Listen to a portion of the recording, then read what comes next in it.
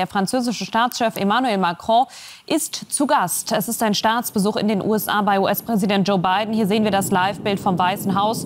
Noch ist keiner der beiden Präsidenten zu sehen, aber sobald es soweit ist, sind wir natürlich live dabei. Und es ist ein vorweihnachtlich geschmücktes Weißes Haus, also beste Voraussetzungen. Michael Wöhlenweber, der uns jetzt zugeschaltet ist aus Washington, auch für einen ja, einen Besuch in guter Atmosphäre, in guter Stimmung, in harmonischer Stimmung?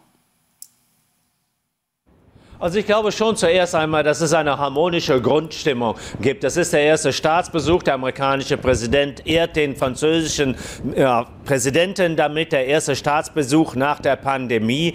Und äh, das ist dann schon ein ganz besonderes Zeichen. Das wird hier herausgestrichen. Und es wird auch von Frankreich herausgestrichen vom Präsidenten, von seinem Umfeld, dass das etwas ganz Besonderes äh, sei, dieser Besuch, dass äh, Amerika der wichtigste Partner äh, sei und der wichtigste Ally, der wichtigste Alliierte. Aber nichtsdestotrotz gibt es natürlich durchaus Verstimmungen und da ist vor allen Dingen der sogenannte Inflation Reduction Act zu nennen. Das heißt, das Programm von Joe Biden, was vor allen Dingen amerikanische Firmen bevorzugt. Bei American könnte man sagen, sagen. Da werden nämlich zum Beispiel Käufer von Elektrofahrzeugen deutlich äh, bevorzugt äh, gegenüber jetzt Käufern anderer Marken aus dem Ausland. Und das liegt natürlich den Europäern besonders im, Magen. Das liegt Emmanuel besonders, Emmanuel Macron besonders im Magen. Und das wird er hier ansprechen. Das wird äh, kontrovers diskutiert. Eine erste Gelegenheit im Übrigen hat er ja gestern Abend schon gehabt. Da waren